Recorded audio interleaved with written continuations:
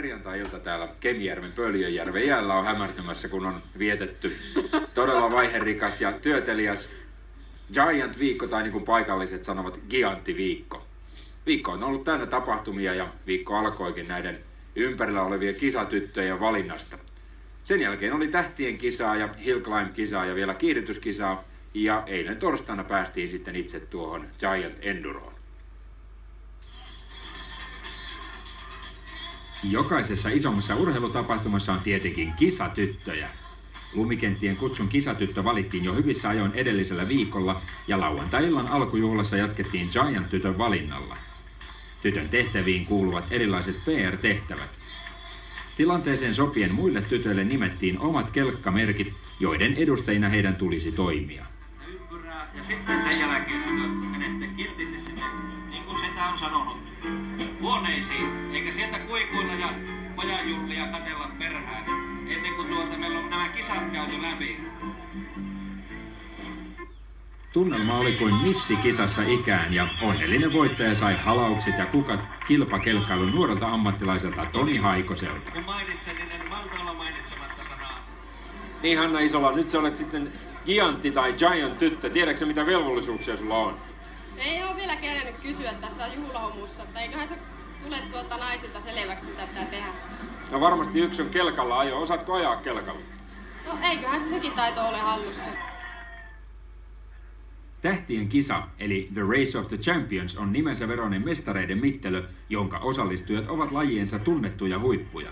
Luvassa oli mielenkiintoinen kilpailu huimine tilanteineen ja varmasti myös hauskoinen yksityiskohtineen. Kilpailu ajettiin crossityyppisenä pyhätunturilla Polan rinteen alaosassa. Laskettelukeskuksena paremmin tunnettu Pyhä tarjosi kilpailulle upeat puitteet. Kisa ajettiin vakiokelkoilla, joten kaikilla oli, ainakin teoriassa, mahdollisuus voittaa. Kelkkailun ammattilaisten lisäksi paikalla oli muun muassa huippupainijoita, jotka valmistautuvat jo edellisenä iltana huolellisesti. Painijoiden haasteellinen mieleellä antoi odottaa kovaa kisaa, yllätyskin tuntui mahdolliselta. Mutta loppujen lopuksi pojat Harri Koskela ja Jari Salomäki ajoivat aivan omalla persoonallisella tyylillään, joka muistutti vahvasti kuljettajan ja kelkan välistä painiottelua. Kelkka vain tuntui olevan voitolla. Kilpa-autoilupuolelta oli paikalla muun muassa rallycrossin viisinkertainen Euroopan mestari Matti Alamäki. Niin Matti Alamäki, tämä on nyt sulle semmoinen toisenlainen harrastus noiden entisten rallycrossien sijaan vai? No onhan tämä, mutta kyllä mä oon monet vuodet kelkkailu jo, että tota, ei tämä nyt sillä tavalla uutta. No oletko aina kilpailumielessä mukana? Ei, siis joskus vu- vuosi sitten ajettiin vähän sama tapainen kilpailu, että ei, ei tämä ei tää kelkkailu kilpailu, mulle tämä on niinku harrastusta ja, ja tämmöistä, tämmöistä tota, ajan viettämistä. Matti valmistautui myös vahvasti. Viikonlopun aikana ajettiin sekä kelkalla että autolla, ensin perjantain ja lauantain välisenä yönä Porista autolla pyhälle ja siitä heti suoraan kelkan päälle ja safarille. Lauantai-illan missimittelöissä mies olikin jo valmis levolle. Sunnuntai-aamuna Matti odotti kovasti kohtaavansa tähtien kisassa toisen kilpa-autoilijan Robert Lappalaisen. Alamäen Matti lupasi pistää kollegansa koville ja ratkaista miesten välisen paremmuuden kelkkaradalla samalle kilparadalle kun autoilun puolella ei olla päästy. Mutta Robert Lappalainen tekikin ovellan tempun. Miehen Ilkka oli kipeytynyt viikonlopun rienoissa, eikä radalle ollut asiaa. Vanhana Amerikan kettuna Roope hommasi radalle Stuntmanin, veljen poikansa, eikä edes kilpailun juontaja tiennyt vaihdosta. Hiukan vain vaatimaton ajosuoritus kummastutti. Illan palkintojen jaossa Roope kuitenkin paljasti jekkunsa. Hyvin tunnettu tosiasia on kaksinkertaisen motocrossin maailmanmestarin Pekka Vehkosen kelkkailuharrastus. Pekalle kelkkailu ei ole mikään kuolemanvakava harrastus, vaikka tulevaan motocrossin kisakauteen mies suhtautuukin taistelutahtoisesti. Kuntokin on kuulemma kohdallaan. Mitenköhän on, puhutaanko vuoden 94 Kiantissa kolminkertaisesta maailmanmestarista?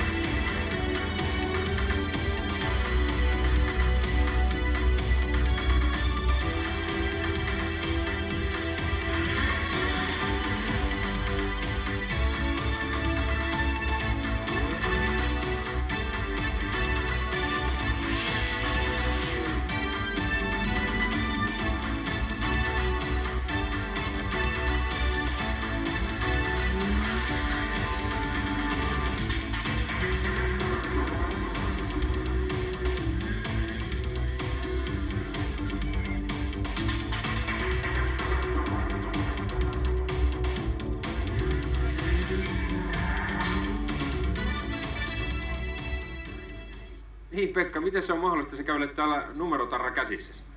No, yritetään löytää kelkka mulle vielä tässä viime hetkellä. Löytyi, löytyi, hyvä juttu. No mitä sillä sun omalle kelkalle tapahtuu? Ootko kuulemma vähän ajellut hurjasti? Mä ajasin sen kaivon reunamaan sen ja se meni jotenkin kahtiin. Että...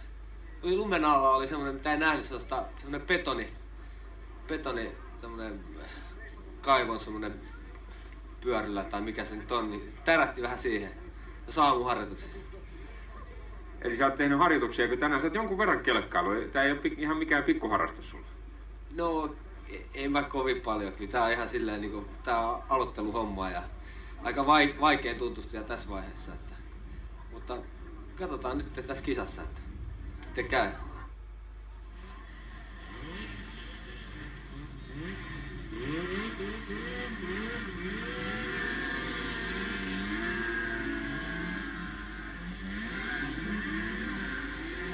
Tähtien kisan piti alun perin olla leikkimielinen ottelu, mutta kovaksi yritykseksi ja taisteluksihan se muuttui. Kärjessä ajoivat kelkkailun ammattilaiset Tuomo Forssell, Kemijärven Daltonit veljekset Pekka ja Jussi Tuovila sekä kelkkakrossin tämänhetkistä SM-pistetilastoa johtava Toni Haikonen. Paikalla olivat myös rovaniemeläiset Pauli Piippola ja Ari Peteri, joiden ajo ei sujunut aivan tyylipuhtaasti. Pauli Piippola joutui radan tiukoissa kurvassa tiukkaan tilanteeseen amerikkalaisen Paul Mackin kanssa ja yhteen törmäyksessä Piippola loukkasi kätensä. Tuossa tilanteessa erän johtoon ampaisi hiukan hämmästynyt Pekka Vehkonen. Törmäyksen yhtenä syynä oli varmastikin se, että Paul Mac ei ollut tottunut nastattomalla matolla ajoon. Ajolinjat venyvät väkisinkin kurveissa, eikä kotimaassa pätevä ajotyyli, suorat loppuun lujaa ja jarrutus juuri ennen kurvaa, sopinutkaan suomalaiseen kisaan. Kun Paul Mäkiltä kysyttiin piikkien mahdollisesta vaarallisuudesta, mies oli sitä mieltä, että heillä kelkalla voi väistää, suomalaisella tyylillä törmäys tapahtuu paljon helpommin. Piippola muuten joutui jättämään kisan kesken, eikä sen paremmin ollut käydä samasta kaupungista kotoisin olevalle Ari Peterille, joka finaali lähdössä yhteen törmäyksen jälkeen joutui hetken haukkumaan henkeään radan pinnassa. Finaalilähtö uusittiin ja Peteri oli edelleen kisassa mukana. Kisan tauolla radalle rynnistivät kisatytöt mukanaan hiukan yllättävä kisakumppani, sosiaaliministeriön kansliapäällikkö Heikki S. von Hertzeen. Hän on muuten yhdistänyt kaksi harrastusta, keilailun ja kelkkailun. Mies nimittäin kävi aina välillä vallien päällä kaatamassa lippumiehiä, jotka eivät olleet kyseiseen lajiin tottuneet, eivätkä siten ehtineet aina karkuun. Hertseenin syyt kelkkailuun ovat muuten hiukan erikoiset. Niin Heikki Esmon Hertseen, mitä tekee tällaisessa moottorikelkkakilpailussa sosiaali- ja terveysministeriön kansliapäällikkö? Tuota, raskas työ vaatii raskaat huvit ja moottorikelkkakärpänen on purrut minua pari vuotta sitten ja, ja tuota, kun olen sattumoisin täällä muutella maailmassa tämän viikon ja järjestäjät halusivat yhden kansakunnan pellenkin paikalle, niin sosiaalialahan on palveluala, että täytyy aina toimia sen mukaan, mihinkä pyydetään.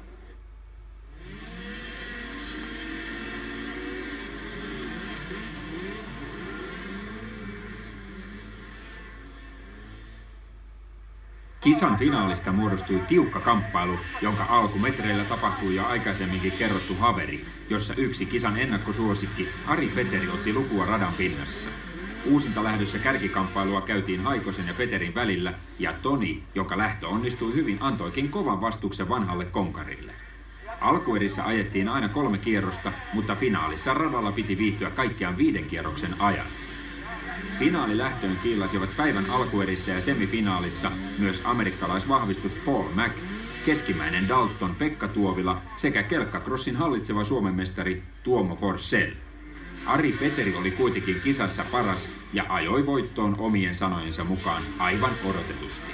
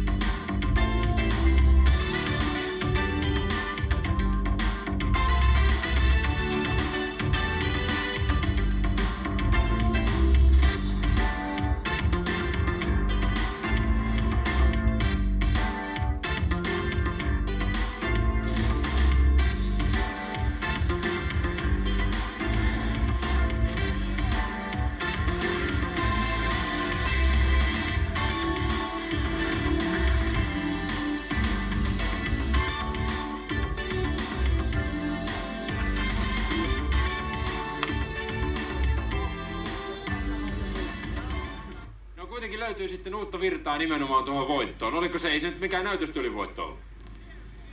Ei ole, tuossa oli kovia kuskeja, että Suomen mestareita miekin on entinen ja siinä oli hallittavia ja ehkä tuleviakin, mutta niin ei voi sanota, olisi mitään hätää ollut, että tiesi, että pystyn kyllä viisakerroksessa tulla aika hyvälle sijalle, vaikka huono lähön sainkin.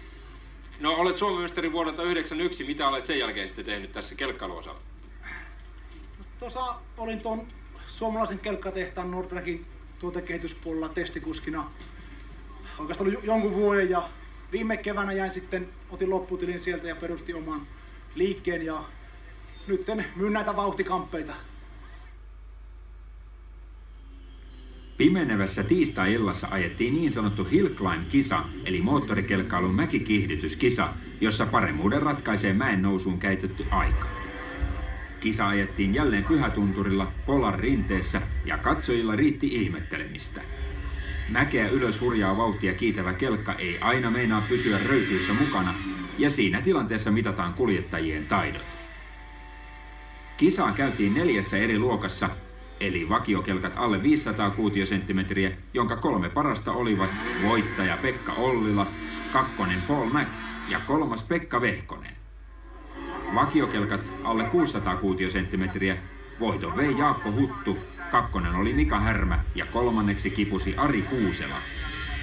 Varsinaisen kuninkuusluokan, eli yli 600 kuutioiset, jonka kolmanneksi selvisi niukasti voittajalle hävinnyt Jukka Jalonen, ja kärkisijoista kävi sekunnin sadasosa taistelun Heikki Toppala ja Jussi Tuovila, joka oli tällä kertaa nopeampi.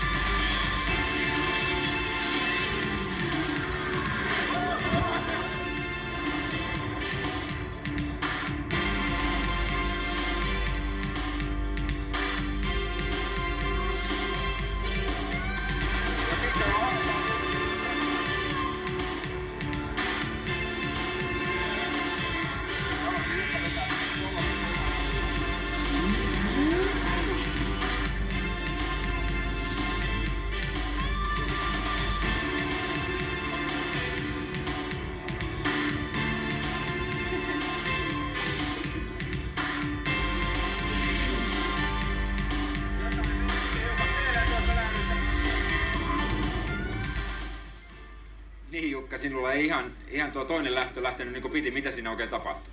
Siinä oli kaveri nosti perästä ja käytin kaasua pois ja tarttu kytkin kiinni sitten. Se mä painoin jarrua, niin se sammui ja jäi kytkin kiinni ja sitten se losahti ja mä nykäsin käymään, jäi remmi löysälle. Sillä se lähti.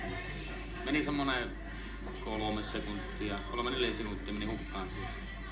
Mutta sä sait hirveän kiukun sitten päälle ja vedit siellä melkein pohja-aikoja. Ei, kun mä ajattelin, että totta, mä johonkin liikahtaa. Hill Climb-kisan neljäs luokka oli naisten alle 500 kelkolla ajettu kisa, jonka kakkonen oli tällä kertaa Virpi Vaittinen ja voiton vei Raija Lakkapää. Mikä saa naisen lähtemään näin kovaan urheiluun kuin esimerkiksi tuo kiipeilykisa tuolla kelkalla?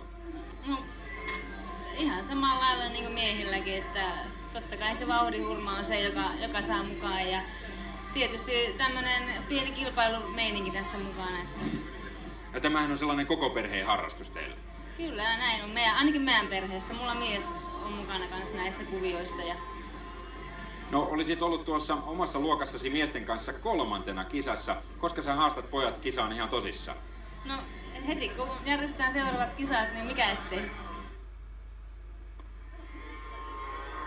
Päivää ennen varsinaista Giant Enduron alkua ajettiin Kemijärvellä Pöyliöjärven jäällä kiihdytyskilpailu, jossa 228 metrin mittaisella radalla otettiin mittaa niin kelkoista kuin kuljettajistakin.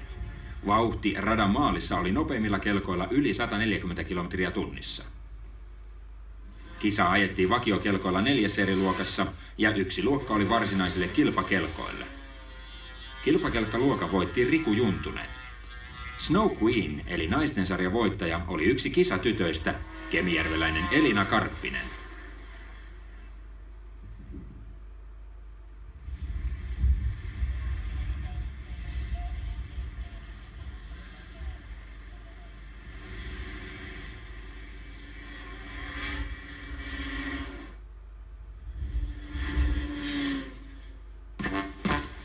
Kaksi moottoria.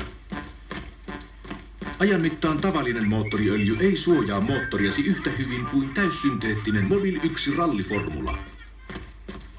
Moottorin suorituskyky saattaa laskea. Täyssynteettinen Mobil 1 ralliformula antaa varman suojan moottorin kulumista vastaan. Ympäri vuoden. Miksi tyytyisit vähempään?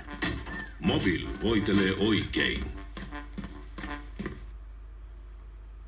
Kemijärven kuuluisin 204 työkalupakki on Tuovilan Dalton veljessarin oma yritys Tuovirengas, joka myy ja huoltaa niin polarikset ja skiidut, ja pojat huoltavat toki muunkin merkkisiä kelkkoja. Rengaskauppa on poikien toinen leipälaji. Mistä sitten on tullut veljessarille tuo nimi Dalton? Ainakin keskimmäinen veljeksistä Pekka kertoo tarinan juontuvan jo vuosien takaa poikien kilpailureissuilta – Veljekset kulkivat porukassa, hänen huippuna tuolloin porukan pienin Jukka, ja kilpakumppanit saivat hyvän syyn nimittää porukkaa Daltoneiksi. Tuovirenkaan tasaisen vilkkaiseen työvuoteen tuo yhden huipun, ainakin Jussin mielestä, maailman kovin kelkka enduro Giant. Millä tavalla tämä kiantti muuttaa teidän päivittäistä elämänrytmiä? Kyllä se melkoinen hässäkkähän se on. Missä vaiheessa sitten ehditään näitä omia kelkkoja omaan kilpailuun valmistautua? Kyllä se yleensä illalla myöhään. Ei sitä päivällä kirjaa omia laittaa. Onko tämä kiantti nyt sellainen ainoa isompi tapahtuma, että muuten on sitten semmoista tasasta rauhallista tämä työskentely? Kyllä se kiantti on se pari viikkoa, niin semmoista hoppua. Muuten se on ihan tasasta. Mitäs kiantin jälkeen tehdään vielä töitä melkoisesti, kootaan näitä hajotettuja kelkkoja? Joo, kiantin jälkeen kasataan ne, mitä ne on särkenyt. Omana erikoisuutenaan Giant Endurossa, eli moottorikelkkojen kestävyysajossa, on lähtöjärjestyksen arvonta, jossa ratkaistaan ryhmittäin se, kuka avaa latuja ja kuka taas puolestaan joutuu ajamaan kuluneella, ryykkyisellä ajouralla.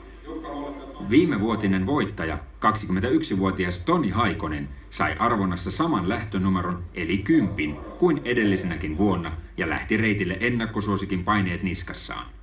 Toinen kova ennakkosuosikki, Heikki Tuovila, lähti niin sanotusti avaamaan latuja lähtönumerolla yksi. Kovin tyytyväinen hän ei tilanteeseen ollut, mutta rauhallisena miehenä Heikki lupasi edelleenkin ajaa kärkisijoista. Kelkat katsastetaan ennen kilpailua. Vaatimuksena on alle 500-kuutioinen liikennemääräysten mukainen vakiokelkka. Kuljettajalta vaaditaan ajovarusteiksi kypärä ja ajolasit, motocross-tyyppiset jalkineet sekä hartia, polvi ja selkäsuoja.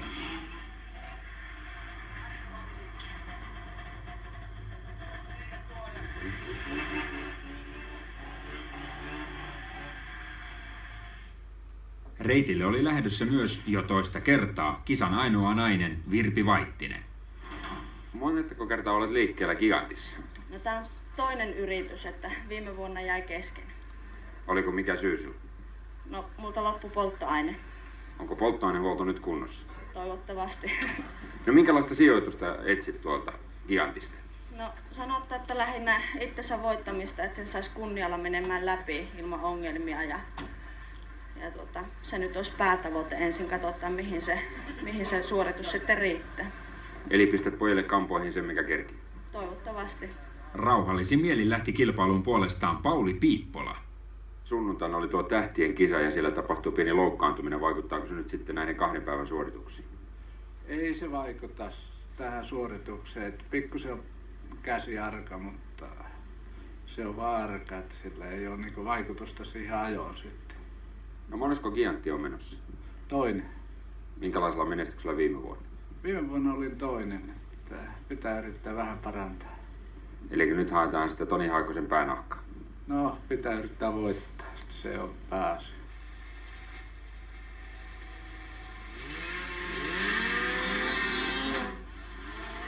Torstai-aamuna startattiin liikkeelle Kemijärveltä Pöyliöjärven jäältä.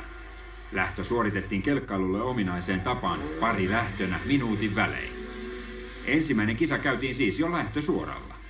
Joillekin kilpailijoille lähtö tuotti hankaluuksia, joten liikkeelle lähdettiin välillä hieman myöhässä vauhdilla lähtövaatteen alta ajaen. Kelkka Endorossa ajetaan koko ajan kilpaa, joten aikatarkastus ja erikoiskokeen vaihto käy vauhdissa. Vain kilpailijan numero tarkistetaan pysäyttämällä.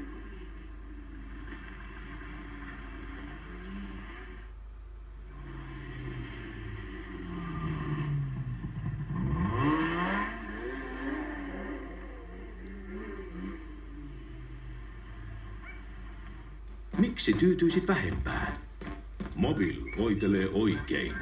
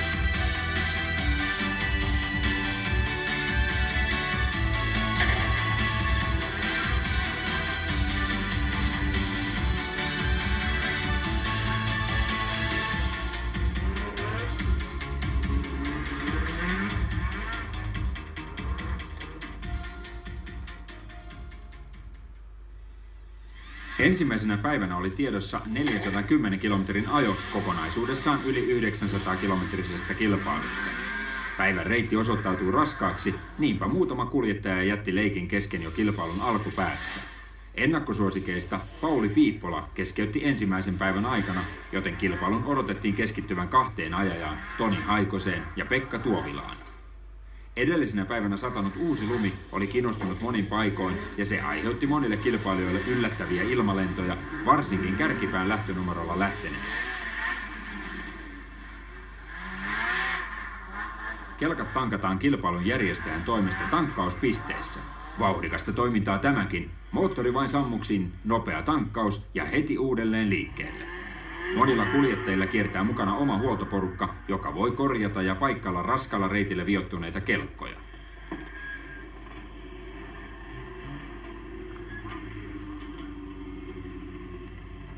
Giant vaatii todella hyvää kuntoa kuljettajalta ja huollon pitää pelata. Tämä ajaja on ratkaissut nestetankkauksensa persoonallisella tavalla.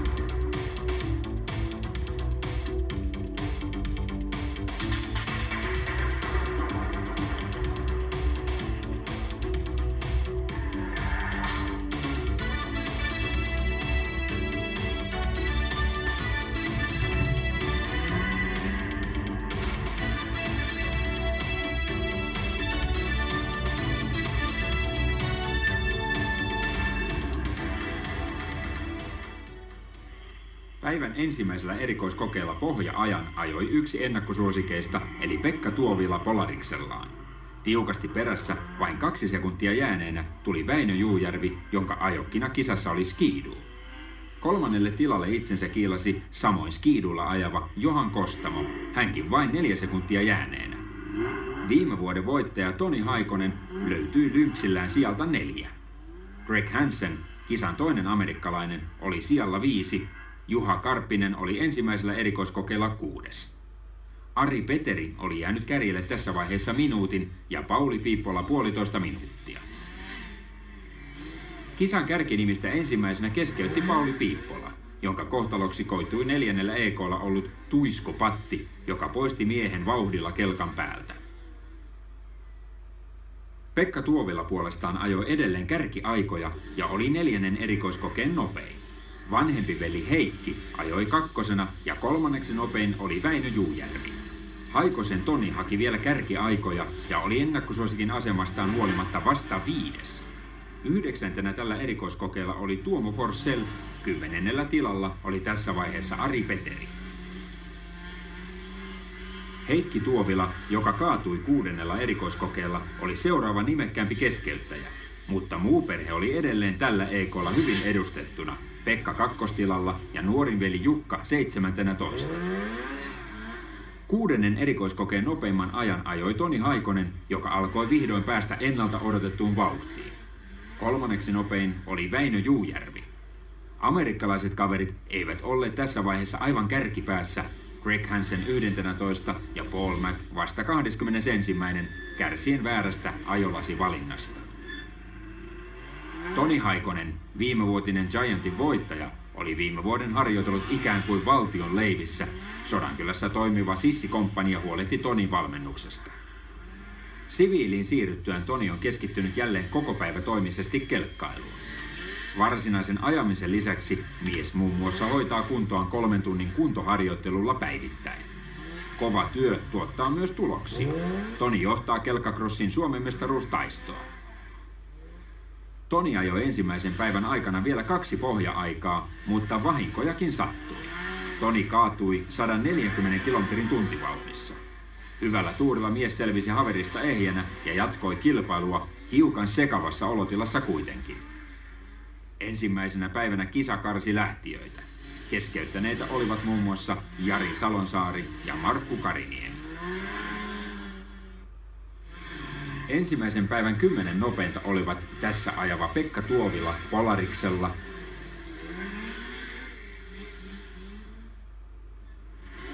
Numerolla neljä ajava Veinu Juujärvi Skiidulla oli kolmas.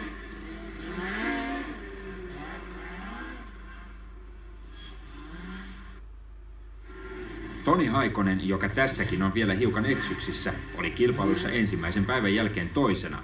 Tonin ajokina tietenkin Lynx.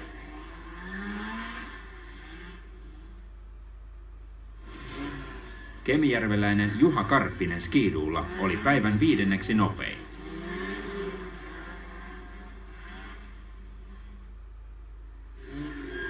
Ari Kasanen Lynxillä oli puolestaan neljäs.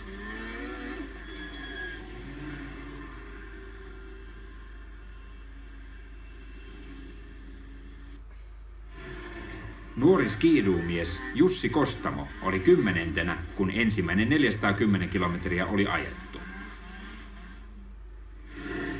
Esa Väisänen Lynxillä ja numerolla 23 oli kahdeksantena.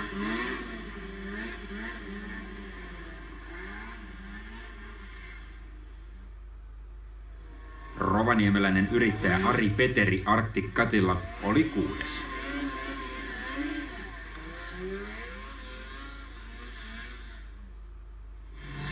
Yhdeksänneksi nopein oli Jukka Saaralainen Polariksella.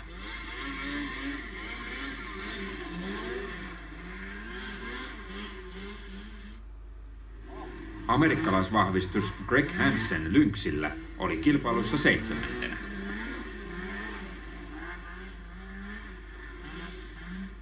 Toinen amerikkalainen Polariksella ajava Paul Mack, joka oli luvannut ajaa viiden parhaan joukossa, oli ensimmäisen päivän jälkeen vasta kuudentena toista.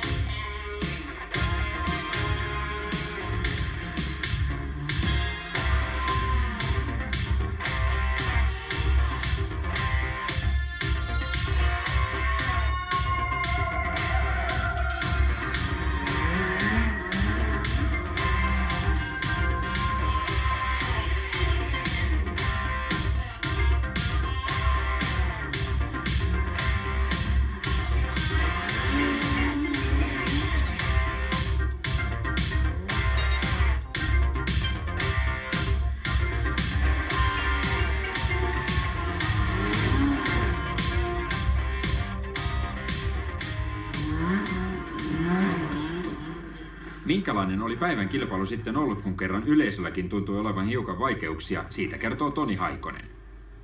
Kun tuo on raskas tuo reitti, olet hiukan väsyneen näköinen. Kyllä se oli raskasta, siellä ei nähnyt mitään. Tämä tuisku ja pilvinen ilma on justiin semmonen, että sitä joutuu melkein niin riskin päällä ajaa, jos mennään lujaa ajaa. Kyllä sen ennakkosuosikin painet siellä pääsi pihalle siellä sitten kun vein täydestä vauhdista lipat, että ei, ei siinä voittoita niin mitään muuta sanoa. On se tosi raskas tommonen reissu ja kisa. No, menit nurin, mutta mitään vakavampaa ei tapahtunut. ei siinä lasilähti ja lamppu ja muutamia muita osia jäi sinne reissun päälle. Että... Ja sitten vähän niskat on nyt jumissa. Mutta hyvin sitten selvittiin, harvemmin noin kovista vauvista on lennetty. Ihan, ihan täysillä veettiin siinä vaiheessa ja justiin katsoin mittaria, niin se näytti jotain 140. Että, kyllä se vähän tuntui jo, pyöriminen jatkui pitkään ja, ja kaveri, josta just jäi ohi sitä ennen, niin huikas siitä minusta ohi, niin minä tiesin, että mihin suuntaan niin pitää lähteä, että muuten olisin kyllä ollut hukassa. Perjantai-aamun lähtöä jouduttiin siirtämään tunnilla, koska pakkanen paukkui pahimmillaan 30 asteen lukemissa. Kuljettajat suojasivat edellisenä päivänä paleltuneita kasvoja mitä erilaisemmilla tavoilla. Amerikkalainen Paul Mack oli kokemuksesta havainnut niin sanotun ilmastointiteipin hyväksi.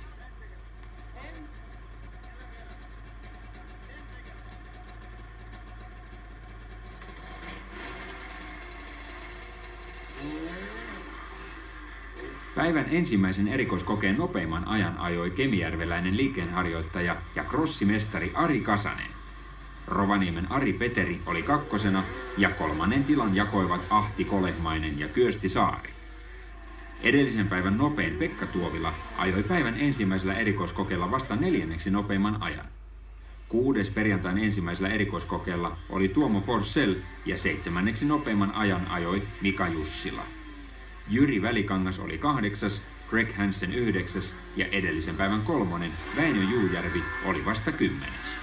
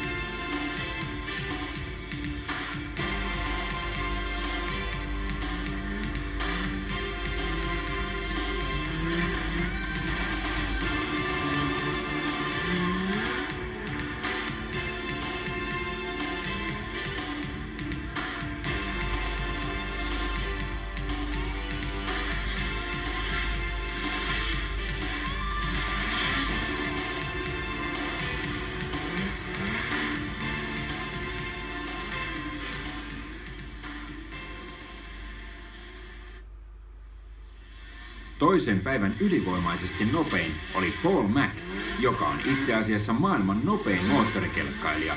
Hänen ennätyksensä on yli 300 kilometriä tunnissa järven jäällä.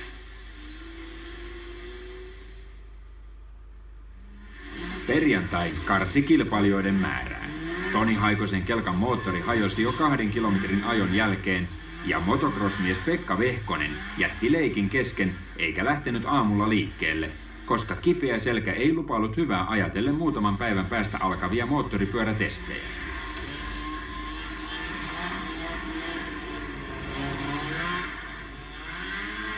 Yksi epäonnisista oli Daltonesta nuorin Jussi Tuovila, jonka vintti niin sanotusti pimeni päivän ensimmäisellä erikoiskokeella ja Jussi joutui keskeyttämään. Nurin menivät myös Arno Erola ja ruotsalainen Stefan Nilsson. Johan Kostamolta puolestaan hajosi moottori. Myös Esko Tuisku kuului perjantaina keskeyttäneisiin kuljettajiin. Tässä ajava Ari Peteri jatkoi vahvaa nousuaan kohti kilpailun kärkeä.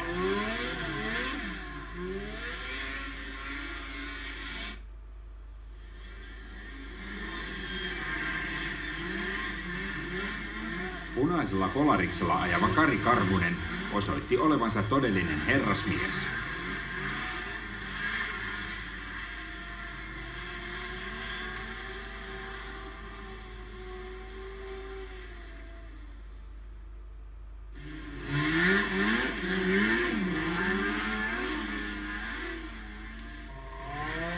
Ennen Savukosken taukoa ajettiin erikoiskoen numero 14, jolta tulevat nämä kuvat.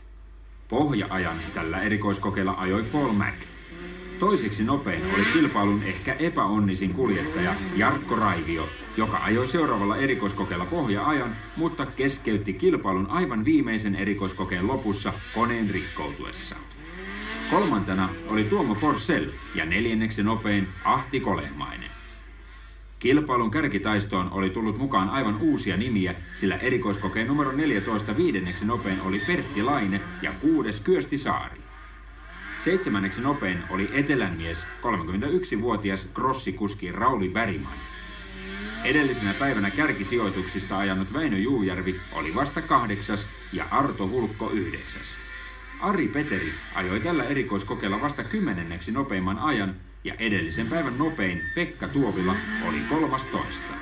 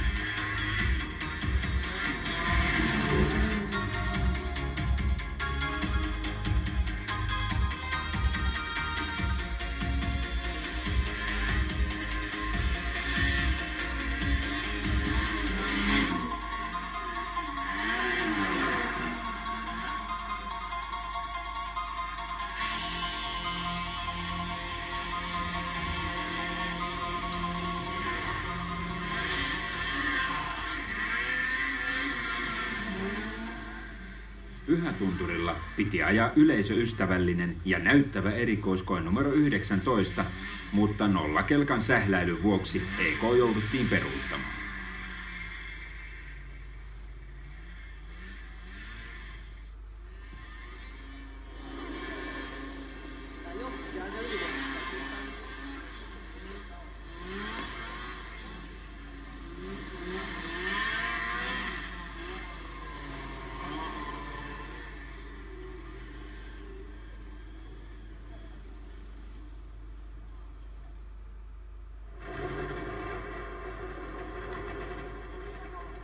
Uusi lähtö otettiin tässä näkyvältä erikoiskoe 21 alusta Tapion niemestä.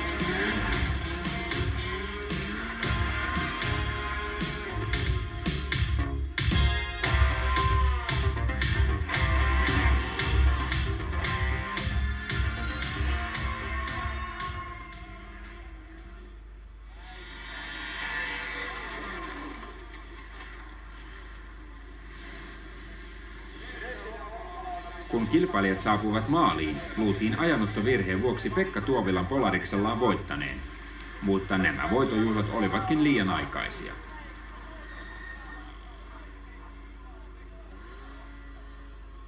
Pekka Tuovilasta leivottiin tässä kisassa kuitenkin Kelkka Enduron ensimmäinen Suomen mestari.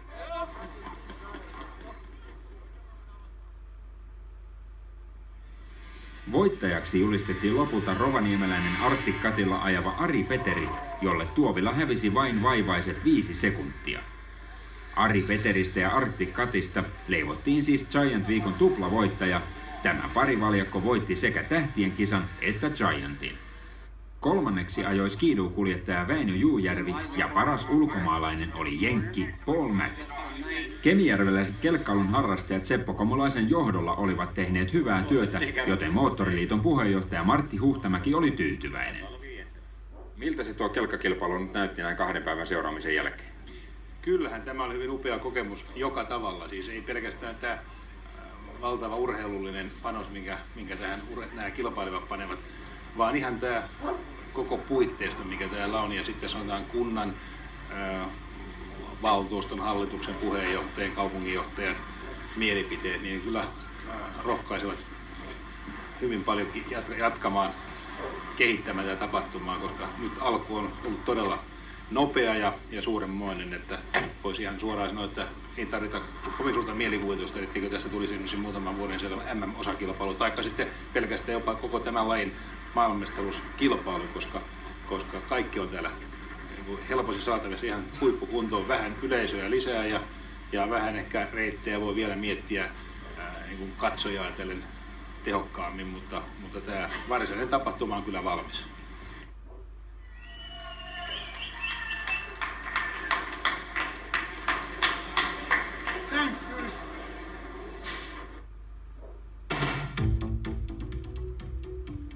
Tässä ovat maailman kovimman moottorikelkka Enduron Giantin lopputulokset.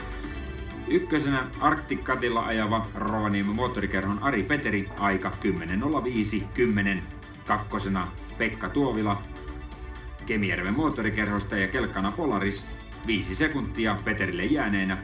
Kolmas Koillistunturin kelkkailijoiden Väinö Juujärvi kelkkana Skiduu ja aikaa 2.35 Peteristä. Neljäs Ari Kasanen myös Kemijärveltä kelkkana Lynx ja aikaa Peterille jäänenä 5.33. Kisan viidenneksi ajoi Kemijärven moottorikerhoa edustava Paul Mac. Polariksella mies jäi 11.38 kärjelle. Lynxillä ajanut Greg Hansen sijoittui kilpailussa kuudenneksi ja jäi kärjelle 19.35. Tuomo Forsell Pohjois-Karjalan kelkkailijoista oli Yamahallaan seitsemäs. Hän jäi 24.09 Peterille. Kahdeksantena oli Jyri Välikangas Lapin moottorikerhosta ja miehellä kelkkana Lynx. Hän jäi 26.58 Peterille. Yhdeksäs oli Lynxillä ajava Helsinki Racing Clubin edustava Juha Suurinkeroinen. Hän jäi kärjelle 29.50. Ja kisan kymmenes oli Kemijärven moottorikerhon polariskuski Kyösti Saari. Hän jäi kärjelle 31.16.